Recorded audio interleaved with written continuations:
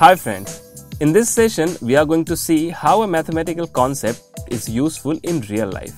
Let's see an example. Hey Jack, why are you looking so tired? Yes, I am tired of this task, John. What task? I want to hang this LED light exactly at the center of this building in a way that it should also be parallel to the base of the building. Okay, that's it. Yes, and one more thing. I also want to know the required length of the light. Fine, don't worry. Consider it done. And let me assure you that this task is very easy. How? Let me explain. Since these walls of the building resemble a triangle. So first of all, we shall take the center of both the sides of this triangular wall except the base and then join both the centers with a line. And Jack, this line is not exactly at the center of this building. But also, we can consider it to be parallel to the base of the building. And about the length of the light string, it will be half of the base of the building. It means if base measures 50 meters, then the length of the lighting will be 25 meters. Oh, great! But John, how do you know these things? Well, I know all of this because of my love for geometry. And there is one particular theorem which says that the line segment made from midpoint of two sides of a triangle is parallel as well as half of the base, that is, the third side of the triangle. And it is called midpoint theorem. So let's learn it in detail. Let's make a geometrical figure from the building and name it.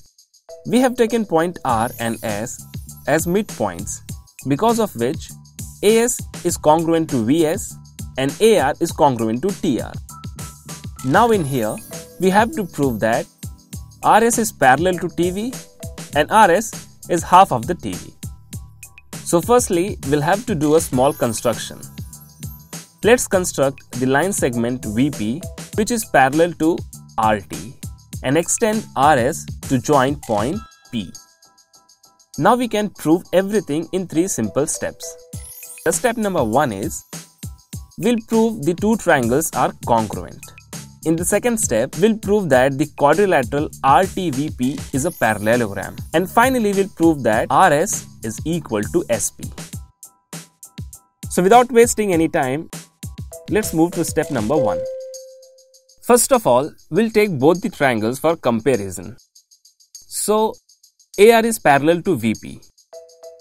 For being alternate angle, angle RAS is congruent to angle SVP and the segment AS is congruent to segment SV because point S is the midpoint of AV, right?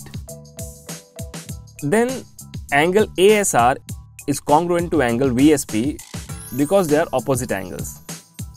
And according to angle side angle congruency test, triangle ARS is congruent to triangle VPS. Hence, AR is congruent to VP and RS is also congruent to SP because they are the corresponding sides of congruent triangles. We know that AR is congruent to RT and we just proved that AR is also congruent to VP. Therefore, we can say that RT is also congruent to VP. Now the step number 2. In quadrilateral RT-VP, RT is congruent to VP, which we just proved, and RT is also parallel to VP.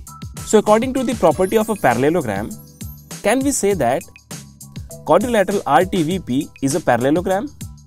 Yes. And friends, RP is parallel to TV because they are opposite sides of a parallelogram, right? Therefore, being part of segment RP, RS is also parallel to TV. So the first part is proved. Are you getting it? Great, John. Heads off to geometry. Mathematics indeed makes our life simple. Yes, but John, I have another question.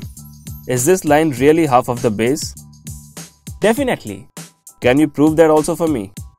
Yes, sure, why not? Our third step is about that only. Quadrilateral RTVP is a parallelogram. So RP is equal to TV because they are opposite sides of a parallelogram. Correct? Now RP is nothing but RS plus SP. But already we have proved that RS is equal to SP. It means RS is half of the RP, right? And because RP is equal to TV, so we say that RS is also half of the TV. That was so simple, John. If you don't mind, I have just one last question for you. No problem, Jack. Feel free to ask. Can we apply this theorem on different types of triangles? Good question, Jack. Yes, we can use this on any type of triangle. Thanks, John. Now I will also keep midpoint theorem in mind while solving such situational problems. Do share this video with your friends. We have videos on algebra and geometry that you can watch on our website and channel. If you have any query regarding this session or in mathematics, then comment down below. We read and reply to each and every comment. So friends, that's it for today. I hope you liked this session. So do hit like button, subscribe to Let's Tute for further updates. Thank you for watching.